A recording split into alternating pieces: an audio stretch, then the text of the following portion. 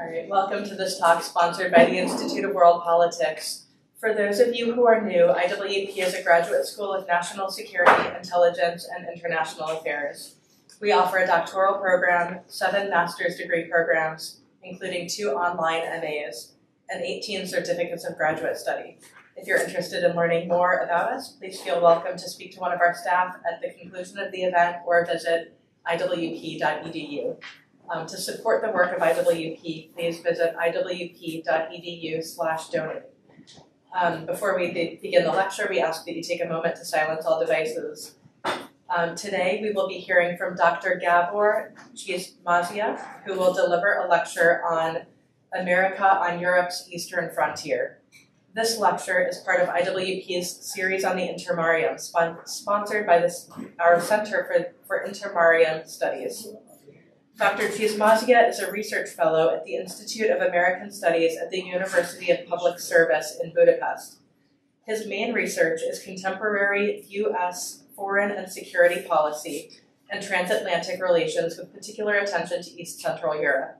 He holds an MA in International Studies and a PhD in Security Studies, Military Sciences. Dr. Csizmazia provides lectures at the University of Public Service in IR theories, American foreign policy, transatlantic relations, and geopolitics in Central Europe. However, he also works in the private sector at um, Euro Atlantic Consulting and, Inve- and Investment, analyzing current issues in East Central European military and energy security. he is an alumnus and Scholars Program participant of the George C. Marshall Center for European Security Studies and a former guest researcher at the George Washington University. Dr. Csizmazia regularly appears in Hungarian media discussing current issues of the United States' foreign policy and domestic politics. Welcome, Dr. Gabor Csizmazia.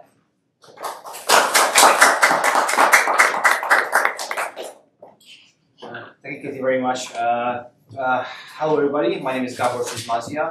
Uh, I think everything has been said about me in, in, in a nutshell, basically. Uh, I come from Hungary, uh, and what I'm trying to look at today's lecture, for which I thank you very much, the Institute and all of you for your hospitality and your welcome. And a special thank, thank you online to Dave Sanders, one of the graduates here at the Institute, who kind of made this possible, made this connection possible. So thank you very much uh, to all of you for the opportunity. Uh, what I would try to uh, summarize within an hour so is basically what I personally see uh, in uh, East Central Europe specifically regarding the United States military and uh, energy security related presence. I understand it's a huge topic, so I'm not trying to give you a deep overview of the issue. I just like to kind of send what the main uh, points that, that I see uh, in these in these areas. And I'm pretty sure that certain elements you see in the presentation you already are aware of. Uh, so I'm looking forward to hearing your questions and, and also remarks and notes in this regard. I don't claim to have all the, the answers or solutions to all these issues. I don't think if I may say, nobody does because uh, currently what makes this issue very hot right now, obviously, is the tragic uh, events uh, uh, in, in Ukraine and Russia's war against against Ukraine and the Ukrainian people something that I believe no no nation kind of deserves what what the Ukrainian people are going through right now. Uh, so it is uh, a very very hot topic in terms of uh, humanitarian perspective uh, and also from a geopolitical and international relations and economic perspectives, if I may uh, add so. I'll try to highlight uh, all of these things and looking forward to pretty much not your questions, but more importantly, your remarks and notes and your thoughts. I'm very eager to hear them. Uh, so what I'd like to uh, do in the presentation is basically highlight uh, four, two to four points uh, number one is that historically, uh, this is an unprecedented situation that East Central Europe or Central and Eastern Europe sometimes referred to, by which I mean the, well, they say the, the new members of NATO, although we're talking about almost like more than 20 or two decades now. So all the, the former Soviet forced allies countries, allied countries who are now members of either the European Union and uh, NATO itself. So by that I mean the East Central Europe. Uh, it's a very historically unprecedented situation that we are right now because of course we can say that there has been huge attention from Washington on this area when it came to Euro-Atlantic integration, especially in the 90s and the early 2000s. Uh, however, not to this extent, obviously, due to uh, the, uh, the tragic war that's going on in Ukraine. The other thing relates to this point is that these countries have become or are becoming truly frontline states. In a sense, they already are. Uh, obviously, uh, there's a separate issue when it comes to how you kind of uh, set the borders or mark the borders of Europe, European civilization or Western civilization. That's for a different topic or for a different presentation, I believe. But uh, formally speaking, uh, if we really look at European Union and uh, European Union and, and, NATO itself, we can say that these countries have truly become frontline states, just like uh, their former or their former adversaries in Western Europe used to be during the Cold War. At least when it comes to defense. When it comes to uh, uh, energy security, that's even a more interesting and complicated issue because right now the again, unprecedented sanctions policy and the transition policies in the West, mainly going through uh, green transition, not just the United States, but also the European Union, which is much uh, um, a bigger deal uh, on our side of the Atlantic. So the sanctions and transition policies cause huge vacuums in, in terms of energy security, both in terms of uh, main actors, but also in terms of business uh, in East Central Europe. Uh, it's a hot topic anyway, by the way, regardless of the current crises, uh, crisis. Uh, but uh, right now, thanks to these two factors, so the ever-increasing sanction policy and the transition policies, the, the, way how energy security is being dealt with overall in Europe, but specifically in our region, is, uh, is highly, uh, I think, deserves uh, the, the attention of the, the U.S. foreign policy decision makers.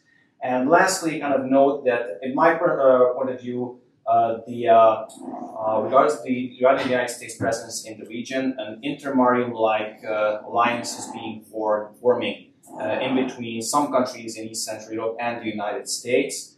although, although this area prob probably will be its secondary kind of area when it comes to if I may say so, a new, we won't say a new world order, that's, that's a very harsh uh, thing to say, uh, especially in, in, a presentation, a brief presentation like this, but definitely a, a changed international, uh, roughly changed international environment, again, thanks to the sanction policies and, of course, Russia's aggression against Ukraine. In that kind of new changed international environment, East Central Europe remains probably the secondary area of, uh, of focus for US foreign policy.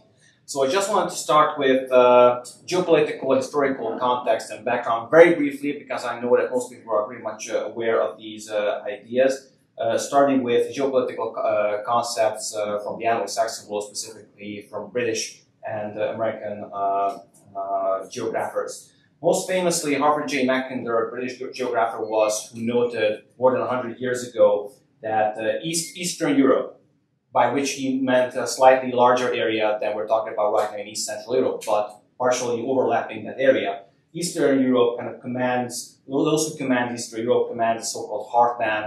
I don't want to read the, the quote uh, in the presentation, obviously you can see it, but trying to, I'm trying to make uh, a point here is just like uh, Halford Mackinder, just like later Nicholas Spykman, who modified his uh, concept, basically kind of reflected the, the Cold War era uh, approach of the uh, United States in theory, in theory when it came to East Central Europe, specifically is that the United States, and that, that was also true for, for Great Britain 100 years earlier, uh, cannot, let, cannot allow that an adversary, uh, major adversary power, uh, gains uh, basically monopoly in the vast lands of Eurasia.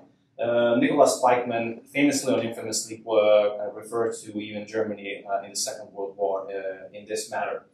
So these things are pretty much kind of basic elements of Anglo-Saxon and British and American geopolitics.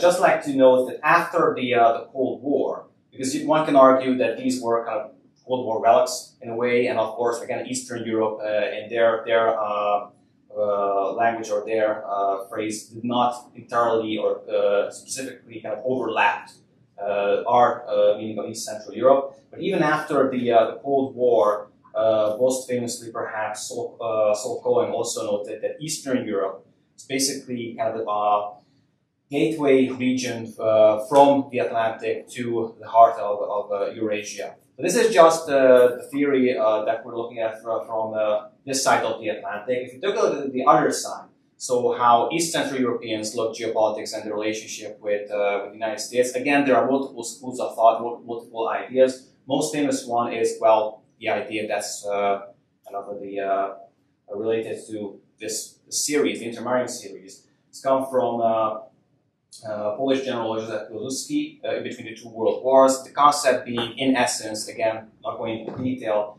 is that these Eastern European, East Central European countries who are kind of stuck in between both culturally, politically, militarily, in between uh, Germany and Russia, these countries should form some kind of alliance, some kind of cohesive group or federation or confederation without going in, in, into detail, but definitely some kind of allegiance with the United States, kind of balance out, most importantly, Russian influence, but also when it comes to uh, potential German influence, obviously led by Poland. So this concept uh, was uh, tragic in the sense that it didn't really manifest uh, in real life as, turns, uh, as things turned out uh, in the Second World War. The reason I'm pointing it out is because one of the main proponents of this idea today is George Friedman, who kind of argues the same thing with the slight modification, if I may add, that it's not really the countries as a cohesive group that really matters for the United States It's the larger countries or the more influential countries when it comes to actual military power and economic uh, potential, specifically Poland and Romania. Uh, by the way, uh, he's not alone in that. I recall that uh, in the literature already in the early 2000s, regardless of what kind of geopolitical uh, analyses or, or concepts, uh, even from the Rand Corporation, for example, be more specific, I think Stephen Larrabee was one of the, the authors who noted that yes, it's important to include these countries into NATO, to integrate them, to have stability in the region. But the main prize uh, among these countries, basically, strategically speaking, is Poland and uh, uh, Romania. Uh, so what happened in real life to kind of put all these things that sounds good on paper, actually uh, to, to, test them in practice? In practice, during the Cold War, we can say, and this is just kind of a uh, reminder of, of the things you already know, uh, in the Cold War, the, uh, the region was sort of a quote-unquote forgotten area, forgotten region, as uh, noted by uh, one of the Hungarian scholars, Charles Gati, you see in the middle, the right next to the late uh, Donald Rumsfeld.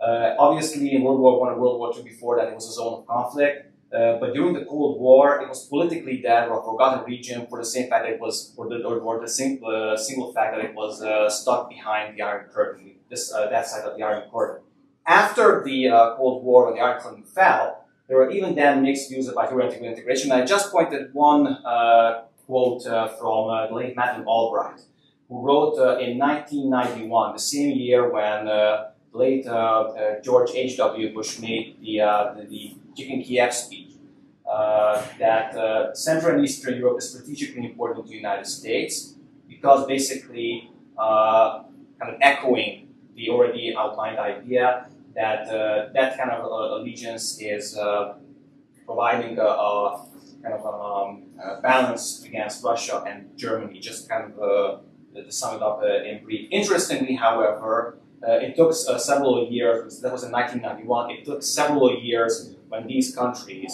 or some of these countries, like for example Hungary in my case, but also uh, Czechia and, uh, and Poland, uh, were allowed to, to enter uh, NATO. And that's the reason why I uh, highlighted the late Ron Asmus next to the late Madeleine Albright right. Uh, Ron Asmus, who used to work at the Rand Corporation and later at the State Department, was one of the main architects of actual NATO enlargement. And there's a very good memoir about how that actually took place in between, I would say, 1997 and 1999, when the actual first NATO's Eastern enlargement took place. Uh, but the point I'm trying to make here is that even then, and I definitely recommend to read his memoirs, even then the views in the West, including the United States, was mixed. The United States was one of the main proponents of actually getting these countries into NATO for different reasons. Uh, but uh, even there, there the, uh, uh the views regarding the future of this region when it comes to geopolitical uh, background and allegiance was very mixed, including from geopolitical thinkers like Henry Kissinger or late uh, Zbigniew Brzezinski in the early 2000s, there was a similar kind of note that this kind of uh, this kind of uh, these kind of uh, countries in this region kind of form a so-called New Europe, countries that understand tyranny, uh, more so than, let's say, Western European uh, members of NATO. So therefore, they can be more likely utilized in the global war against terrorism. Uh, like, for example, part of the, uh, the war in Iraq in 2003, which on paper did, did uh, happen. I mean, these countries were more eager to support that. It really caused kind of tensions within the European Union itself. But the point is, there was no kind of geopolitical idea or uh, uh, great power uh, idea behind the uh, forming the allegiance between the United States and these East Central European countries. There was a specific purpose back then regarding the global war on terrorism. That's uh, one of the, uh, the, reasons, for example, why the Baltic states received an already supported push in Washington to be members, full-fledged members of NATO. But the point is, it was not really a geopolitical idea behind it. That's why uh, again, the aforementioned uh, uh, Charles Gati noted in the early 2000s, right before the Obama administration took place, that these countries kind of suffer from a checkmark syndrome, which means that they're integrated in the West, formally at least, when it comes to EU, when it comes to NATO, problem solved, let's move to the, well, uh, Near East and then to the Far East. The reason I'm pointing this out because, uh, and this is where basically uh, the, the, story gets interesting, but obviously, as we see the current events, that's not really true. Uh, several Atlanticists in the region actually pointed that out already in the summer of 2009 in the uh, famous letter of the 22 uh, in July 2009.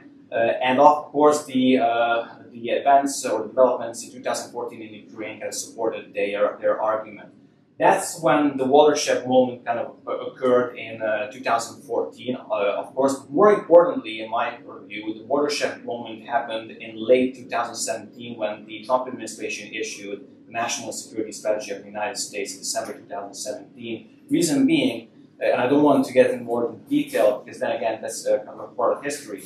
But uh, the 2017 uh, U.S. national security strategy was, uh, I'm looking forward to your comments and views on this, in my point of view, one of the first documents, or possibly the first kind of open documents that openly declared the realities of geopolitics, like even using the term geopolitics, first time. Uh, openly in these public documents. I think it used, uh, I believe, seven times, whereas even earlier documents did not use it. Nadia Schadlow, for example, the person who was supporting H.R. McMaster back then, in uh, uh, putting together the document actually noted earlier that even the idea of strategic competition or great power uh, competition as it is was missing from these uh, official uh, documents. So this is when the whole idea uh, came back to, openly at least, from open sources came back to US foreign policy thinking the way it's seen in East Central Europe. And the reason I'm highlighting that, this can be this could be seen even in nominations, for example, in the State Department. Back then, the uh, Assistant uh, Secretary for European and Eurasian Affairs was A. Wes Mitchell, who was the founder of, of CEPA, Central, uh, Center for European Policy Analysis, the main think tank here in Washington, D.C., that primarily focuses on the region of Central and Eastern Europe. Uh, so basically, the concepts that were uh, put down in the 2010s by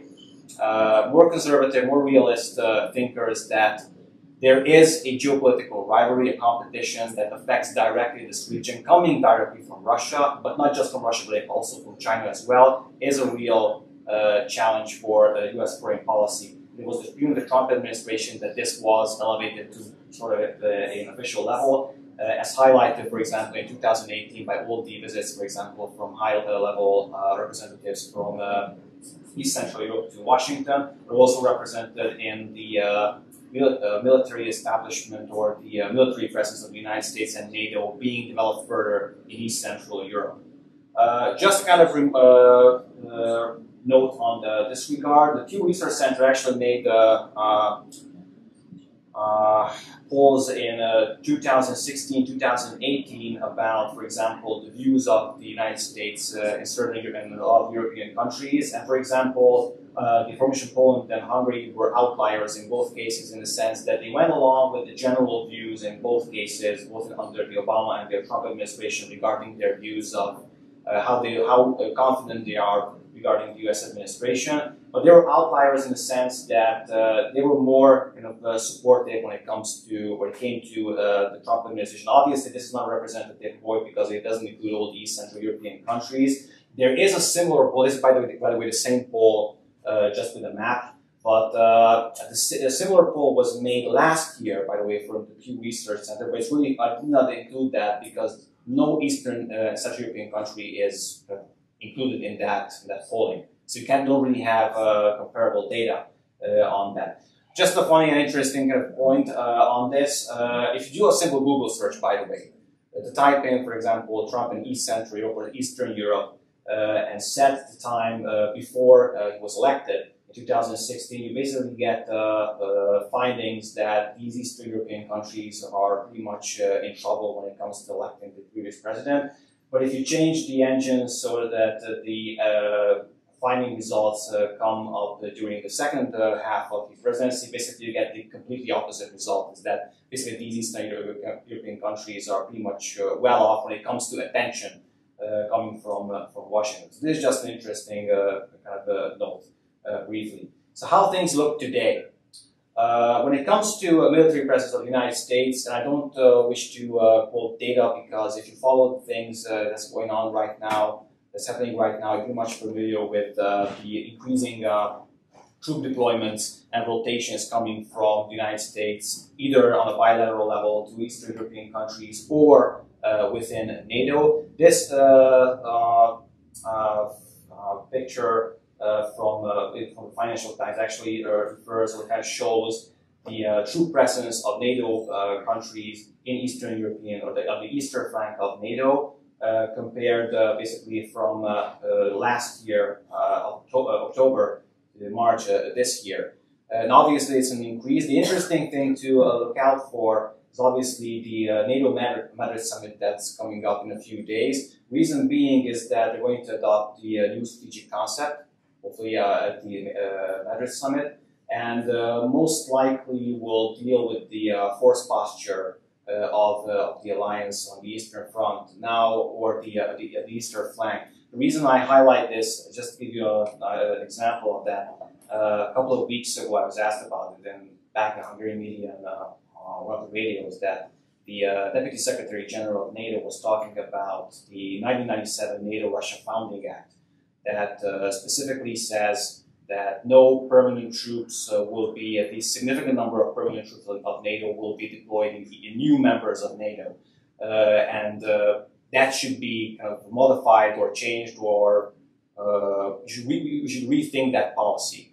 Now, uh, the interesting thing about that, the, the, reason I'm pointing this out is that, well, I, I told the, uh, the colleague at the, the, radio, well, actually, we can talk about it, but there's not much we to talk about in a sense that everything has been already said in this regard and all the way back in 2014. It's that a legally binding document, it's a political statement, and of course things changed on the ground when the, uh, Ukraine was attacked by Russia already in 2014. The reason I'm pointing this out or mentioning this, uh, this story is that uh, presumably uh, uh, NATO is already kind of uh, reminding people that the force posture will most likely change slight uh, extent uh, on the uh, on the eastern flank, which means again kind of unprecedented change, at least when it comes to the last 30 years of, military security in in Europe on on NATO side.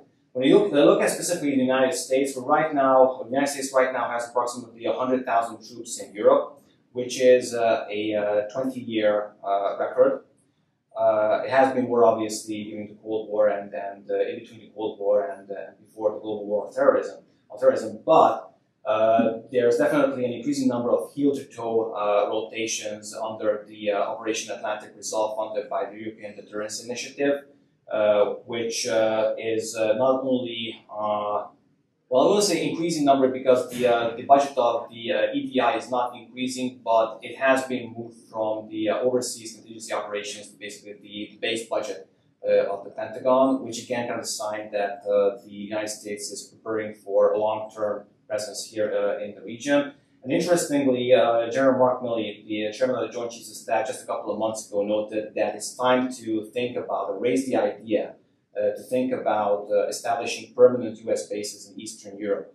Uh, now, the reason why that's important because this again has been debated all the way back to, to 2014. This is something of a water, uh, watershed moment as well. Uh, no permanent bases were established in Eastern Europe in the last uh, 20 years based on the NATO-Russia non-binding NATO-Russia Founding Act.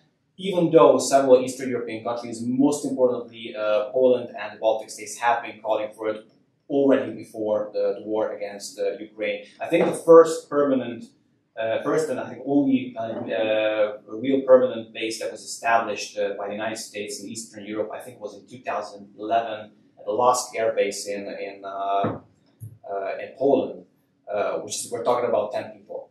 So 10 personnel from the U.S. Air Force, which, which were, was responsible for supporting the coordination of forces. The interesting thing here, obviously, the Global Posture Review recommendations approved by uh, President Biden, which also refers to an increased presence in East Central Europe, mind you, as a secondary uh, importance when it comes to com uh, compared to uh, the, uh, the, the Far East.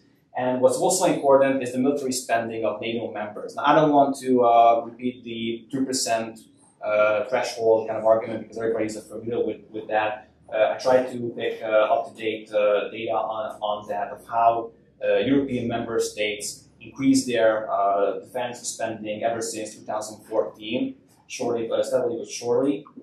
the sign that, sorry, the, the data that's very interesting in this regard is this specific graph, which shows both the 2% uh, threshold and the 20% threshold. The 2% threshold obviously refers to the percentage of GDP uh, that's turned on uh, on uh, defense expenditure. The 20% refers to of how much that expenditure is actually spent on developing or specifically on the capability development and on uh, getting new equipment, so not just other uh, uh, basic spending. Obviously, you want to be in this area, so on the right top area. The reason I'm pointing this out is that the red spots uh, if you take a look closely, mostly represent uh, East Central European, or all of them represent East Central European countries, with the exception of Slovenia, if you count them in, in, in this category, and uh, Bulgaria and Czechia. Basically, all uh, the countries are look, uh, turning in that direction or going to that direction, which means that they uh, spend a lot of money on defense expenditure. This graph over here shows that as well. Uh, it shows the 2014 and 2021 expenditure on defense in terms of percentage of GDP. Now, as you can see, most European countries actually increasing it, but the countries that increased them the, uh, the largest pace or the uh, largest level is basically East Central European, unsurprisingly, East Central European countries. Uh, specifically, if you take a look at Latvia, Lithuania, uh, but even Hungary uh, for that matter, and uh, the, the uh, Slovakia or the Slovak Republic as well. Uh, the reason I'm pointing this out is uh, that uh, General Milley's remark was followed by an addendum saying that yes, we need permanent bases in East Central Europe, but probably these bases should be constructed by these countries. So to save costs, not by the United States, but by East Central European countries, should these bases be constructed and maintained which is not a new concept. Poland already came up with that idea several years ago, uh, or that suggestion several years ago, but there's definitely a need for that, uh, specifically among the Baltic states, Romania and uh, Poland. And as I said, these countries, uh, in terms of defense, truly become uh, frontline states, so there's definitely an appetite for investing in defense expenditure, defense-related procurements. Uh, that we're very much looking at uh, uh, in all spectrums. So I'm not just talking about infrastructure or just military bases per se, uh, or just weapons. I'm talking about cyber. I'm talking about all kinds of security measures that uh, really kind of make uh, the, the, troop deployments manageable or realistic to, to, actually happen, to actually move troops around. some of the European Deterrence Initiative in 2018 and 19 was specifically focused on that area, so how to move uh, the uh, vast number of, of, troops, we're talking about thousands and thousands of people, rapidly within a few hours uh, through, through large land masses. The interesting thing here, and this is part of the system, is more of a question actually that I would like to pose to you. In East Central Europe, the way we see it is kind of obvious that the United States focuses on the region and NATO focuses on the region, and the, the defense expenditure means more uh, business opportunities who are uh, interested in uh, defense procurement. But the interesting thing here is, should Washington outsource uh, the, the task of stabilizing East Central Europe or fulfilling these Central European vacuums to Brussels. By Brussels, I mean either NATO or the European Union or not. The reason I'm asking this is that if you take a look at the last 30 years or so, that's what usually happened. I mean, uh, formally, the United States supported membership uh, of these countries in NATO, but basically, as I mentioned, the checkmark syndrome meant that once these members, once these countries were members of the alliance and of the political community, then basically they were, especially in terms of economics, uh, turning or, or, trending to uh, have more, uh, more of a strong bondage with Western European countries, most importantly Germany. So, for example, uh, to get to the point, is that uh, does, does, the United States uh, intend to establish a more direct relationship or a do-it-yourself relationship with these countries? In my opinion, it does, but then again, it uh, raises another question, what about strategic autonomy? You hear that a lot here in Washington, D.C., I assume, and uh, the way I see it, especially among conservative circles, for example, in Washington, uh, or in general in the United States, uh, the term strategic autonomy, European strategic autonomy is more annoying uh, the way I see it in Europe, but uh, correct me if, I, am wrong on this. Uh, you can argue for strategic autonomy, but if you rely on US presence and you actually call for US presence, military presence uh, that makes a difference, and again, uh, this is what this is the, the, fact from most Eastern European countries, then in a sense you're actually arguing against the strategic autonomy in that matter. Uh, what you are uh, kind of building, if uh, that's the direction you're going, is a more special bilateral relationship with uh, Washington, primarily in between Washington, Warsaw, and uh, Bucharest. The reason I'm highlighting that is that kind of reflects the already mentioned Intermarium-like relationship that was already brought up by George Friedman. Similar kind of process can be seen in terms of energy security the main uh, kind of area of cooperation among these countries should be the Three Seas Initiative, which kind of echoes uh, the Intermarium uh, concept, uh, even in its name also in terms of its uh, content. Now, uh, the reason I say it should be because it really relies on, on funding, on money. the interesting thing here is that under the Trump administration, this kind of money was raised or possibly being given to or a starter uh, capital uh, was supposed to be given from Washington to uh, these East Central European countries or this East Central European uh, initiative already in 2017. Although uh, direct U.S. involvement in this cooperation is waning, in my opinion, more money is basically spent, uh, coming from European Union projects, which primarily do not deal officially with these areas or with this, these initiatives, but with member states and so-called PCI projects, projects of common interest within the European Union. What's really interesting from an East Central European perspective when it comes to U.S. engagement is obviously the, uh, the promise or the, uh, the uh, idea that was raised by uh, President Joe Biden uh, in March uh, with his meeting with Ursula von der Leyen from the European Commission that the United States is willing to offer 50 BCM of L American LNG per annum to the European Union. I'm not talking about the region itself, but the European Union. Now, if that happens, even then we're kind of behind when it comes to dependency on Russian gas. But there's a lot more questions that need to be settled in East Central Europe because uh, it's not just the amount of uh, American LNG that's uh, meant to be a game changer originally uh, with the Three Seas Initiative. Uh, but the reason uh, I'm kind of skeptical in this regard is that, first of all, it's, it's not enough if you take out the sheer numbers. Uh, so you, you, require at least uh, twice or three times more LNG per year if you take a look at the actual consumption in Europe. Plus, you need a lot of time to do it.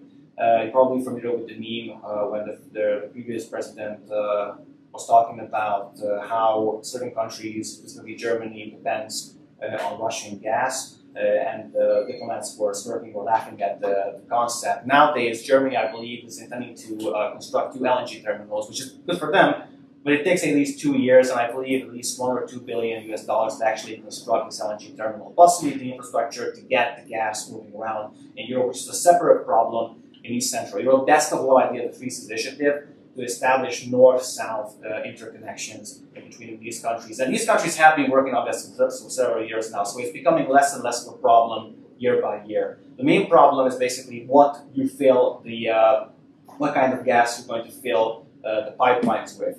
And to do uh, name another example, the key issue uh, highlighted here are the landlocked countries, obviously, because they do not have ports uh, which they can receive uh, LNG from the United States. But the other problem, which is not highlighted on the slide, is uh, what's seen from East Central Europe, a similar kind of uh, phenomenon that seems to happen here in the United States. Because if you take a look at the the agreement or the joint statement between President Biden and President von der Leyen back in March, they said that you know 15 BCM LNG would come per year from the uh, American side, this is questionable in a sense of will you actually support the fossil industry to produce the, the this LNG in the, taking into account that you know Eastern, uh, East, uh, Far Eastern markets or other markets in the world are not going to pay a higher price for that. And the other thing on the European side, which is less of a question because it probably will happen, is to actually convince uh, some of the countries that even though it's more expensive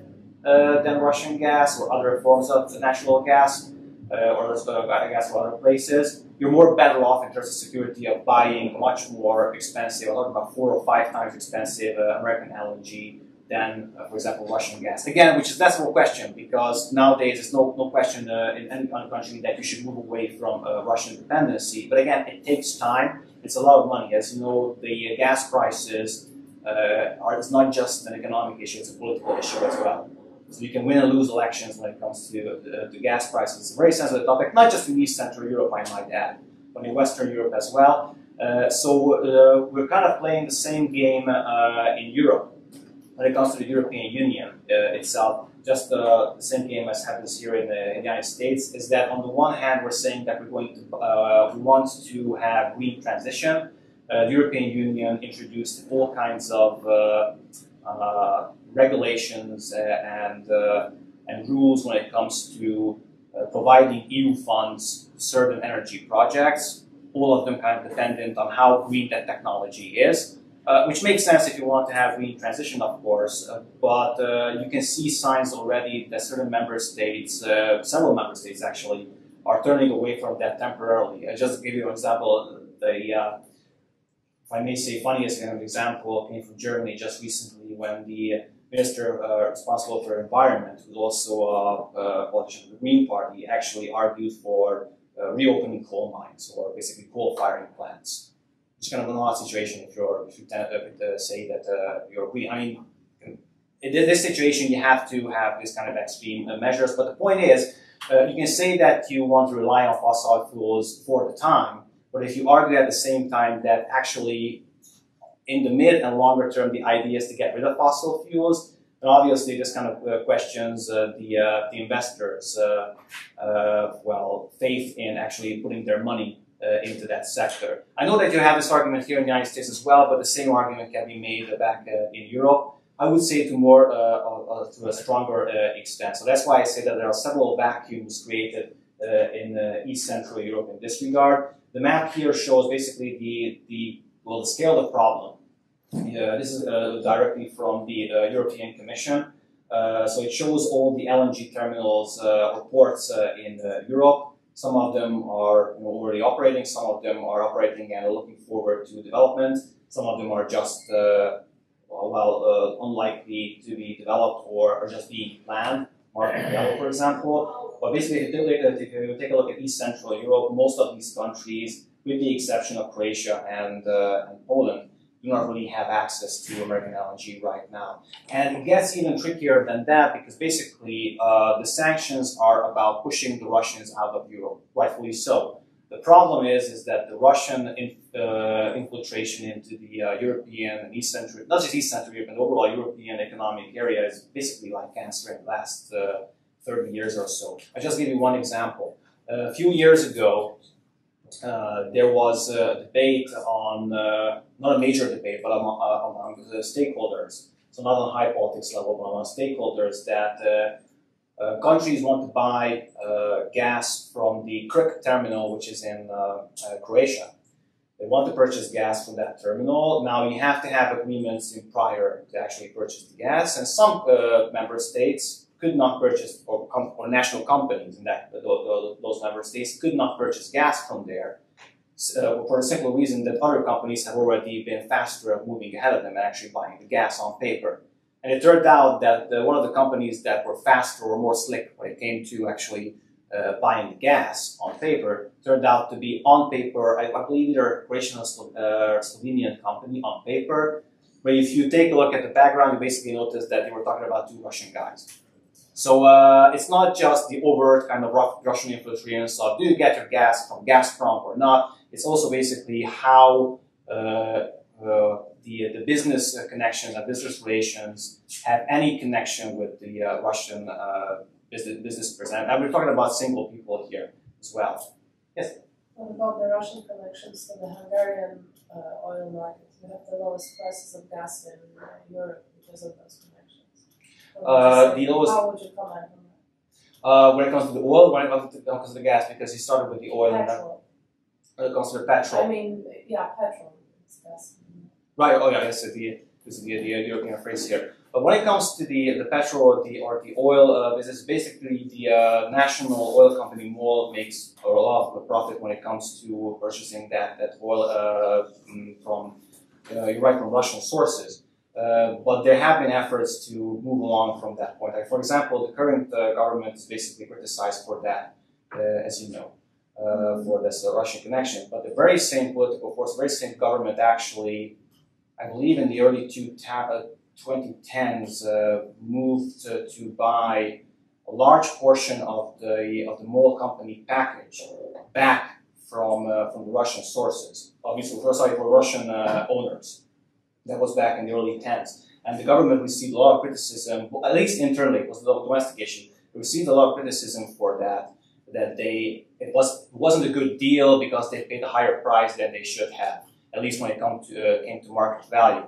Uh, but then again, in retrospect, if you take a look at that, was a very good decision. So I'm not saying that there's not uh, uh Russian dependency, definitely, but they have moved from that point uh, to another direction. There's definitely a decision to so. I mean, it's kind of a right uh, right now overall, it's not, not just the oil, it also overall itself. It's a very tricky situation because uh, I used to say to, to American colleagues that the Europeans in general, if I may say that as European, we tend to sit on a high horse because it's not just the Hungary the East European uh, uh, stakeholders, especially European stakeholders as well who kind of, you know, uh, when they, when they uh, approach the uh, uh, European Council meetings or other forums, they basically argued that they want to have, for example, an oil embargo, but they're not really interested in that. For example, just recently, I think the sixth uh, EU sanction, sixth package of EU sanctions was supposed to include full oil embargo. That was the first idea. Uh, and a huge spotlight was expected to be shed on Hungary per se for the reason we mentioned. Uh, but then I think actually Politico itself actually wrote about that uh, the day uh, the, uh, the uh, prime ministers and the, European Council meeting was held, that actually even Germany, German, Austrian, and I believe Italian stakeholders as well, but other countries as well, is not really interested in the oil embargo itself because their their economies depend so much on that. If you talk uh, with Western diplomats on that, you get the sense that uh, there's a really uh, kind of nervousness in the air of how long that can be maintained. Because I said it's not just an issue of economics, it's also an issue of political stability. So to answer, briefly answer the question, it's a complicated issue because it's not just Hungary, it's other countries as well who are dependent on that. You can pinpoint out certain countries, of course, you can do that, uh, but uh, there is, there is a signs, in my opinion, that other countries are also in that as well. And it's a difference, if, for example, if let's say, they were talking about, for example, if Hungary or other country would be veto uh, the sanctions, which uh, in a way did not happen that was expected by, by some pundits, but if, for example, a small country vetoes, it sounds different, for example, if, for example, Germany vetoes, politically speaking. Yeah. You know, so so there uh, and there were uh, analyses, I believe, on that subject earlier. So not today, uh, but earlier, a few uh, a couple of years ago, uh, that the way the, the meetings, for example, in the European Council are done, are actually uh, not just in, uh, when it comes to embargo and, and, sanctions, but other areas as well. For example, uh, on voting where you the Europe, the euro zone rules infringements are, are happening or not. kind of reflect realpolitik kind of realities on the ground. I mean, it did happen in the early 2000s, I believe. I think it was Greece, the first country who, uh, this is a different topic, by the way, just, just a similar example. I think the first country who faced uh, consequences, political consequences for breaching uh, the, uh, the uh, rules uh, within the, the, the, the, the, Maastricht criteria when it comes to how you pay with the euro or the requirements that you need to meet uh, to pay with the euro. I think it was Greece who had to face the, the first consequences in the early 2000s, even though if you take a look at the uh, requirements, I, I, believe Germany and France uh, would have been equally kind of guilty of that. The fact is, the process goes, and at that particular issue, for example, that the uh, European Commission, as the defender of the treaties, kind of you know, waved the flag that, look, there's an infringement over there, we're going to start the process but the vote is actually happening in the Council of the European Union. And there is basically when intergovernmental relations come in. So that's a different topic, but uh, a similar kind of uh, uh, issue that uh, that kind of that's uh, happening. Uh, so that's why I just brought it up. But again, it's a different issue. so just to, to keep the time, the, the assessment here is that there are vacuums when it comes to energy security in East Central Europe uh, that are going to happen partially because of the sanctions, uh, as, as I noted earlier, but also because of green, green transition processes. And that kind of creates, I believe, major invest major uh, investment opportunities for not just American but also Western European investors when it comes to production, storage, and lines. Uh, obviously, the main uh, the main uh, factor in this, uh, in addition to what I already said, so the sanction policies and the transition requirements with the European Union, is the uh, EU funding uh, opportunities. Uh, to give you an example, the uh, European Union also has a COVID relief package, just like in the United States. The only difference is that that relief package, we're talking about more than 600 billion euros for the, the member states uh, that package is not distributed similarly as the or the same way as the uh, uh, standard kind of uh, structural funds or cohesion funds or the standard EU budget. So basically, you get the money and then you pay it, and then you uh, use it, and then seven years later you have to make reports on how well you've done uh, the, the, usage of those funds. It's the other way around. You basically hand in plans, so RRPs, reconstructions and resilience building plans that kind of reflect of how you would like to use those funds to rebuild your, reconstruct your uh, economy after COVID. You get the money, and basically, if that plan is approved in prior, technically you're good to go if, if everything is approved. Now, a lot of those uh, segments within the plan actually call for all kinds of green uh, transition, uh, well, requirements, which, is, on the one hand, was very good. On the other hand, it was written before the uh, the crisis in Ukraine. I mean, the real crisis, the, the, the actual uh, tragic war that's going on right now actually occurred. So there is kind of a critique about that, of, of how kind of it ties the the uh, the country's kind of hands and the, the member states' hands in actually uh, using the, the funds to be more resilient uh, to a different kind of threat, namely energy dependency from Russia. When it comes to the United States, uh, the, the, there is definitely a desired U.S. engagement, as I mentioned, when it comes to American LNG. The question is really the, the, determination under the green transition, as I already indicated. The other is market and political barriers. Uh, I have no doubts that American LNG has a place in the European market. Pretty sure that it does. Uh, it's already been uh, proposed several years ago under the Trump administration. I, I believe uh, it was actually a very public event in Poland when the first LNG uh, shipments arrived a few years ago. So there's actually publicity stunt uh, in this regard. The question is really the amount. Uh, the market realities of actually you can actually sell uh, the LNG in the, the uh, European uh, on the European market.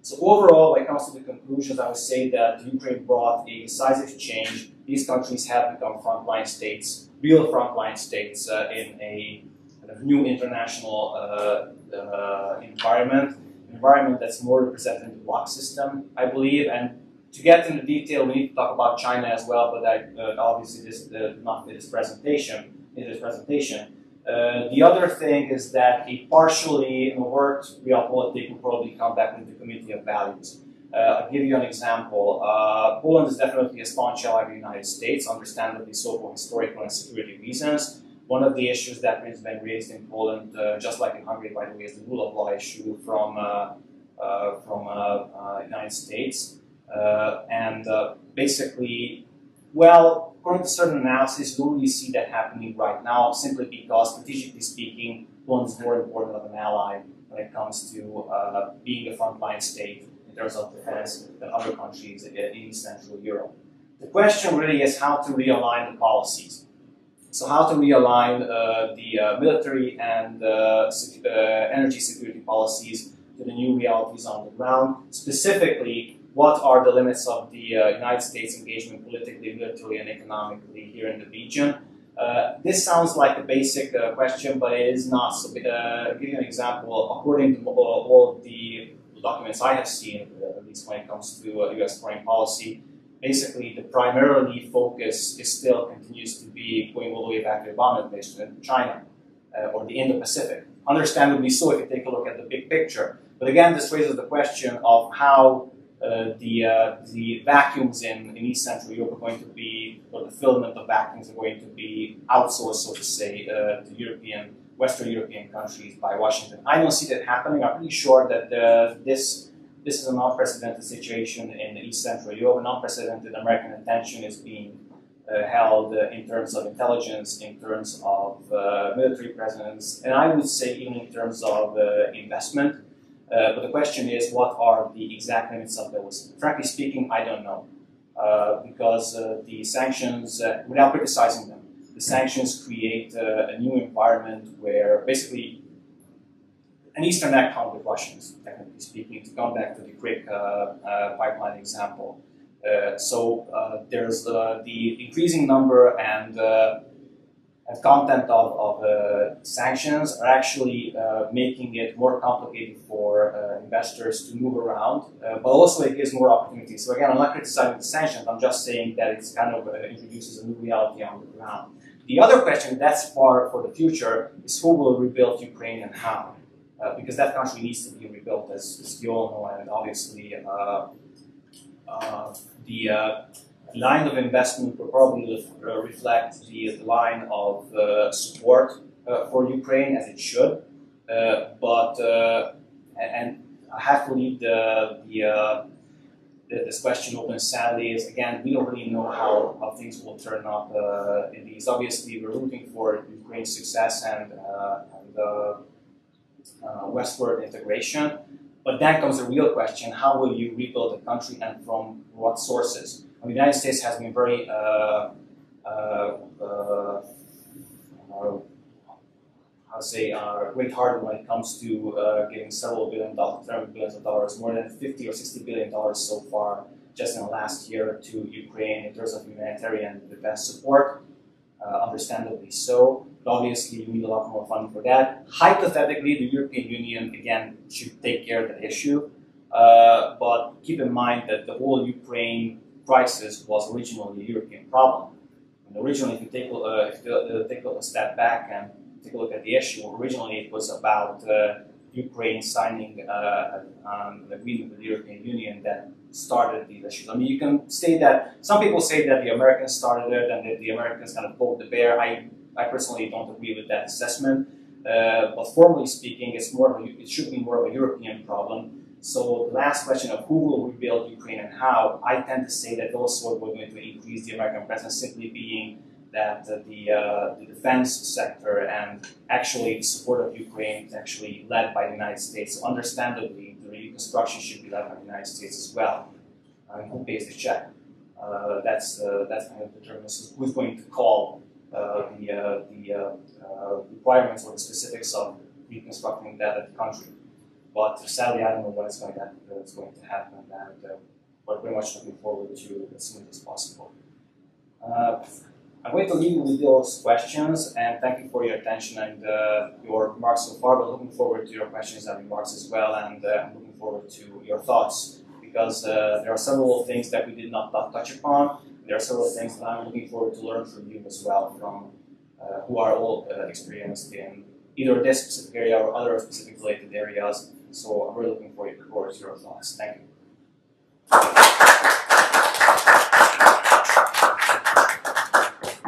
And thank you for the question, Michael. the way. Does anyone have a question? We have time for one or two.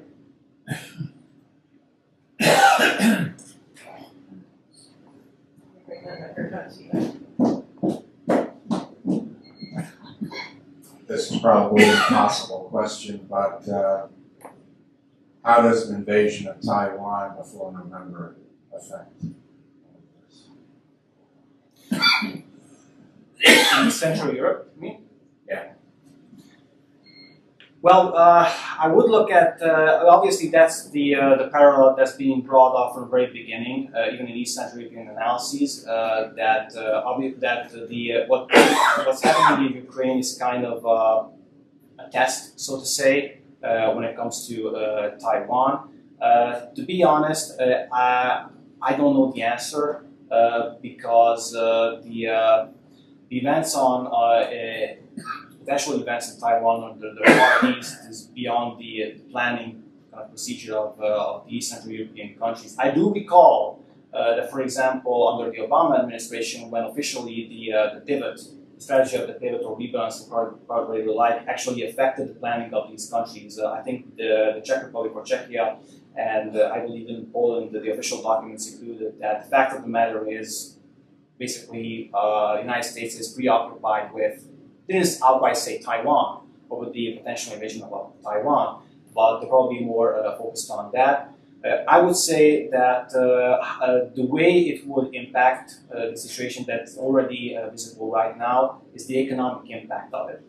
Uh, so uh, the uh, even Ukraine itself already in the first couple of months showed huge economic impacts in East Central Europe. Uh, uh, partially because a lot of the production lines were in uh, Ukraine, and those production lines were broke. I would even argue that the not not not just not just the sanctions, but already the fact that uh, that uh, Russia attacked Ukraine actually caused more of a disturbance in the global, or at least the East Central European uh, production lines than COVID did. Because COVID kind of it did not fragment it to that extent. It did cause disturbances, and you can see that in terms of supply and demand, uh, just like uh, other parts of the world. But it did not uh, kind of uh, shatter the, uh, the way it the way the, the crisis in Ukraine did. Now, that, now an attack against Taiwan, I would I would say that especially with the semiconductors definitely affect that. For example, the auto car industry. A lot of the auto car industry, a lot of the East Central European countries rely on uh, the, the German auto car industry, and that kind of uh, depends on receiving uh, chips uh, from primarily from Taiwan. I'll just give you a very specific example on the ground. One of my colleagues is actually thinking of purchasing a new car. Uh, first of all, the the prices, regardless regardless of the inflation, have gone up. So people who were thinking of buying a car, should have bought it way earlier. Uh, that includes me as well. I kind of uh, feel regret about that. But the point is, uh, he, my friend who thought to, uh, my colleague who thought to, to purchase a car, they already said, I he has the money to do it. He said you have to wait, wait at least one year because of the chips right now. Uh, and this is regardless of the East Central European uh, construction line because we're talking about a specific model that's not produced in East Central Europe. But if you think about it, these countries, uh, we're talking about mainly German cars. The car in question right now is Japanese but uh, we're talking about uh, German cars, that will affect the, uh, the national economy to, I believe, a very harsh extent. So we're sure that the invasion of Taiwan, regardless when it happens, by the way, regardless before or after the midterm elections, uh, I would say that it has it would have a huge impact on the uh, on the auto car industry in East Central Europe. Right now, if you take a look at the statistics, the GDP growth in East Central Europe is actually stronger than in, Western Europe. But obviously, you have to consider that the overall GDP is lower uh, than Western European countries. You have to calculate that as well. Uh, but I would think that that's the first impact that would definitely be felt uh, in our region, uh, and to a very strong extent because a large uh, portion of the economy relies on that one single sector. Uh, when it comes to Slovakia and, and Hungary, for example, I, I, can, I can say that. When it comes to other countries, I'm not sure about the specifics, but pretty sure that just in that one single sector, we, went, we will feel the, the, the impact of that very brief, very brief very short time. There's already uh, it's already being felt right now, but that's obviously because of the uh, the, the trends that were developed in the last few decades.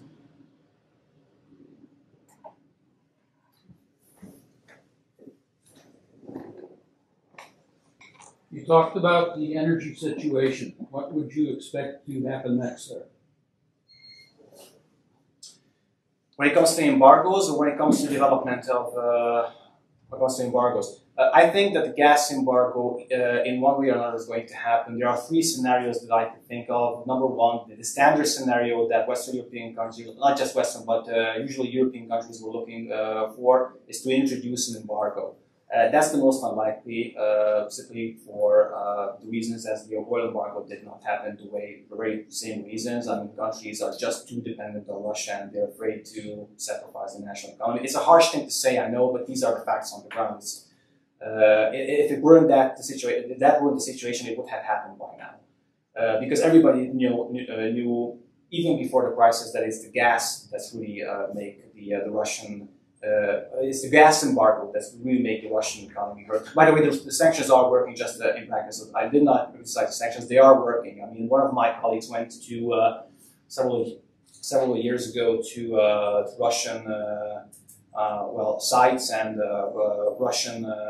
well, it, it had a glimpse of how, how the Russian energy market works. And obviously, it's underdeveloped compared to, for example, the U.S. energy sector. But not only that, it's very dependent on Western technology. So uh, uh, just the, uh, the sanctions itself, regardless whether you're buying or not buying Russian gas, is going to hurt the Russians very much if it hasn't hurt them already. The question is, is whether, I mean, you're familiar with the idea of where sanctions work in general on a, on a non-Western thinking society, if I may say that.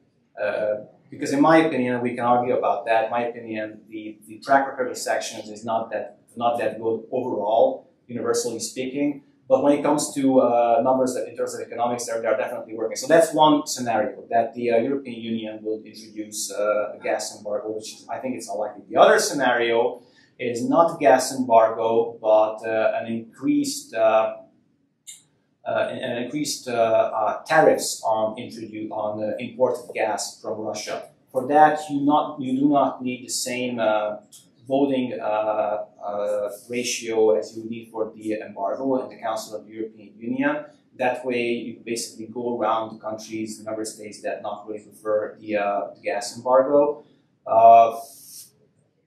I, I, don't see that happen to be. It's more realistic, but I don't see that going to, that's going to happen for the very same reason the gas embargo did not happen. Again, you need a large stakeholders actually support to do it. And the third scenario, which already some people are claiming that it might happen, is the other way around, is that uh, Russia will turn for that as a quote-unquote nuclear option, saying that we're going to do uh, switch off the gas. Right now, you already see examples, even Hungary, for example, yesterday or two days ago, uh, there was a temporary uh, stoppage of gas support Russians claim that it was a, a, technical issue, but it did happen to Poland as well before the war happened uh, through the Yamal pipeline. So there is possibility that Russia would come up, up the, uh, the gas. Uh, then, in that case, the question is what will happen to the Russians uh, and when they, they, were going to do it.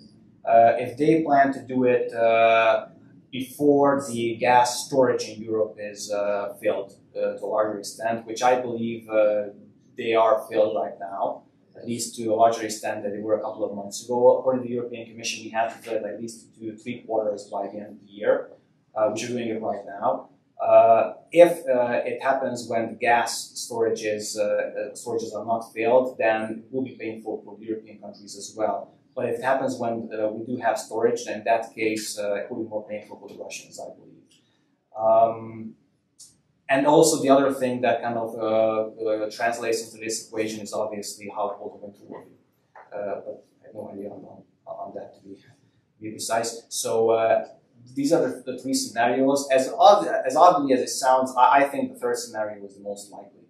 Uh, because uh, simply put, I, I, don't see European will behind behind that overall European will behind introducing de facto gas embargo, as harsh as that may sound. And again, you know, as, as months pass by, it's more and more unlikely because a possible fatigue will come in, uh, including in Western European uh, nations. That's my understanding of it. I'm, i might be proven wrong. I mean, the European Union has been more united than ever uh, on these issues. So I might be proven wrong, uh, but I but I'm, I'm skeptical in this regard, to be honest.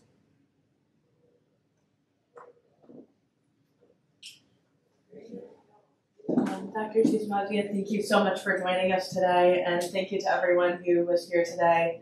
Um, if you're interested in um, attending more of our lectures, they're listed at iwp.edu, um, or if you're interested in making a gift to IWP, you can also go to iwp.edu.